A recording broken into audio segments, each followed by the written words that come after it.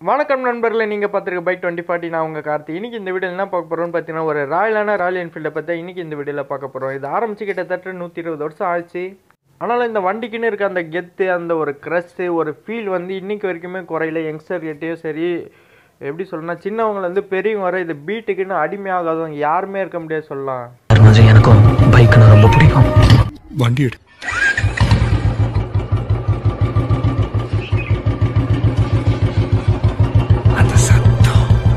அந்த வண்டியை ஓட்டினாலே ஒரு கெத்து ஒரு மாஸ் இருக்கும். அது ஆரம்பித்த காலத்துலேருந்து இன்னைக்கு வரைக்குமே அந்த மாசம் அந்த கெத்தோட அப்படி வர்றனால அதுக்கு ஒரு டுவெண்ட்டி டுவெண்ட்டி ஒன் அப்டேட்டில் வந்து என்னென்னலாம் பண்ணியிருக்காங்க இதெல்லாம் பார்த்தா இன்னைக்கு இந்த வீடியோவில் பார்க்க போகிறோம் இந்த வண்டியை ஓட்டுறவன் வேற வண்டிக்கு போக மாட்டான். வேற வண்டி ஓட்டுறாலும் அவ்வளோ சுலபமாக இந்த வண்டியை ஓட்டவும் முடியாது.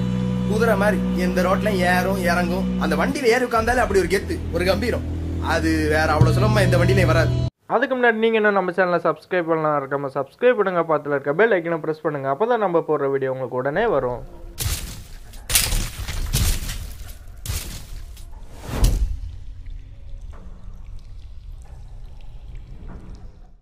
மேஜரான அப்டேட் பார்த்தீங்கன்னா அவங்க வந்து இன்ஜினை வந்து ரீஃபைன் பண்ணிட்டாங்க. வைப்ரேஷன் வந்து சுத்தமாக இல்லாத மாதிரி பண்ணி வச்சுருக்காங்க. மீட்டரில் எப்படி கொடுத்தாங்களோ அது மாதிரி இன்ஜினை வந்து ஃபுல்லாக ரீஃபைன் பண்ணி கொடுத்துருக்காங்க ஒரு நியூ இன்ஜினாக கொடுத்துருக்கனால உங்களுக்கு பார்த்தீங்கன்னா இனி அந்த வைப்ரேஷன் வந்து சுத்தமாக இருக்காதுன்னு வந்து ராயல் என்ஃபீல்ட் தரப்புலேருந்து சொல்கிறாங்க ரெண்டாவது பார்த்தீங்கன்னா நமக்கு வந்து ஃப்ரேம் வந்து சேஞ்ச் பண்ணி டபுள் கிராட்டல் ஃப்ரேம் வந்து தராங்க. இதே பழைய மாடலில் பார்த்தீங்கன்னா நமக்கு வந்து ஒரு சிங்கிள் இது வந்து அதில் தான் வந்து இன்ஜின் சீட் ஆகிற மாதிரி இருக்கும். இப்போ பார்த்தீங்கன்னா டபுள் கிராட்டல் ஃப்ரேம் தரனால உங்களுக்கு வந்து நீங்கள் ரைட்லாம் போகும்போது பார்த்தீங்கன்னா இன்னும் கொஞ்சம் ஸ்டிஃபாக இருக்க மாதிரி இருக்கும். வைப்ரேஷன் வந்து உங்களுக்கு கொஞ்சம் கம்மியாக இருக்கும். ஏன்னு பார்த்தீங்கன்னா ரெண்டு ஃப்ரேமாக இருந்தாலும் உங்களுக்கு அந்த வைப்ரேஷன் வந்து கொஞ்சம் கம்மியாக இருக்கும்.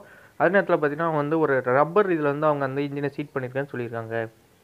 இதனால் பார்த்தீங்கன்னா வண்டியோட வைப்ரேஷன் லெவல் வந்து ரொம்ப கம்மியாக இருக்கும். அவங்க வந்து இன்ஜினை வர ரொம்ப ரீஃபைன் பண்ணி உங்களுக்காக வந்து வைப்ரேஷனே இல்லாத ஒரு ராயல் என்ஃபீல்டு வந்து தரேன்னு சொல்லியிருக்காங்க அடுத்து பார்த்தீங்கன்னா நமக்கு வந்து ஹெட்லாம்ப் வந்து சேஞ்ச் பண்ணி அதில் வந்து ஒரு எல்இடி ரிங் வந்து கொடுத்துருக்காங்க. ஆனால் ஆலஜன் செட்டப் தான் இன்னும் கண்டினியூ பண்ணுறாங்க அப்புறம் ரியரில் பார்த்தீங்கன்னா நமக்கு வந்து பழைய அந்த டைலை மாற்றிட்டு இப்போ வந்து கொஞ்சம் சின்னதாக இருக்க மாதிரி டைல் செட்டப் வந்து கொடுத்துருக்காங்க. இண்டிகேட்டர் வந்து எல்இடியில் தர்ற மாதிரி சொல்லியிருக்காங்க.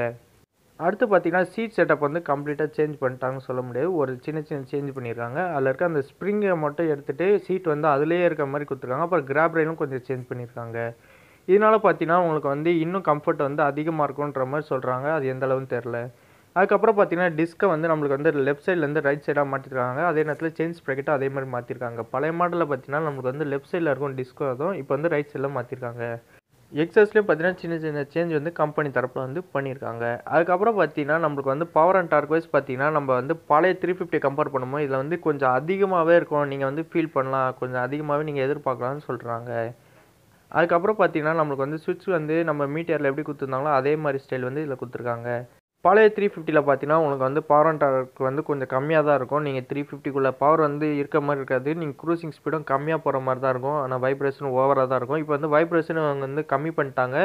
பவர் அண்ட் டார்க்கை வந்து கொஞ்சம் அதிகப்படுத்திருக்கேன்னு சொல்கிறாங்க அடுத்த வண்டியோட டேங்க் டிசைன்லேயும் பார்த்தீங்கன்னா கொஞ்சம் சேஞ்ச் பண்ணி அதை கொஞ்சம் ஸ்லிம்மாக கொடுத்த மாதிரி தெரியுது. ராயல் என்ஃபீல்டு பார்த்தீங்கன்னா இதை இந்த பைக் வந்து ரெண்டாயிரத்தி இருபதுலேயே லான்ச் ஆகிற மாதிரி இருந்தது. கொரோனா இஷ்யூனால இப்போ வந்து ரெண்டாயிரத்தி இருபத்தொன்னில் வந்து லான்ச் பண்ணுறாங்க இன்னும் கொஞ்ச நாள்லேயே பார்த்தீங்கன்னா இந்த பைக் வந்து நம்ம எதிர்பார்க்கலாம். இதோட ப்ரைஸிங் பார்க்கும்போது கிட்டத்தட்ட எக்ஸோரூம் ப்ரைஸே ஒரு லட்சத்தி எழுபத்தஞ்சாயிரத்துலேருந்து ஒரு லட்சத்தி எண்பதாயிரம் கிட்ட வரும்னு சொல்கிறாங்க ராயல் என்ஃபீல்டு பார்த்தீங்கன்னா இனி வர வண்டியில் பார்த்தீங்கன்னா வைப்ரேஷனே இருக்காது. வைப்ரேஷன் வந்து நாங்கள் கம்ப்ளீட்டாக சேஞ்ச் பண்ணுறோன்றாங்க நம்ம மீட்டர்லேயே பார்த்துட்டோம். வைப்ரேஷன் வந்து சுத்தமாக இல்லாத மாதிரி.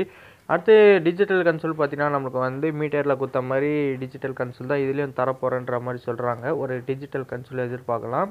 இந்த வீடியோ அவ்வளோதான் இந்த வீடியோ உங்களுக்கு யூஸ்ஃபுல்லாக இருக்கும்னு நினைக்கிறேன். இந்த வீடியோ பிடிச்சிருந்தா லைக் பண்ணுங்கள் பிடிக்கலாம் கீழே கமெண்ட்டில் சொல்லுங்கள் தேங்க்ஸ் ஃபார் வாட்சிங் கீப் சப்போர்ட்டிங் மறக்காம நம்ம சேனலை சப்ஸ்கிரைப் பண்ணுங்கள் பக்கத்தில் இருக்க பெல் ஐக்கனை ப்ரெஸ் பண்ணுங்கள் அப்போ தான் நம்ம போடுற வீடியோ உங்களுக்கு உடனே வரும். உங்களுக்கு பைக்கை பற்றி எந்த டவுட்னாலும் கீழே கமெண்ட்டில் சொல்லுங்கள்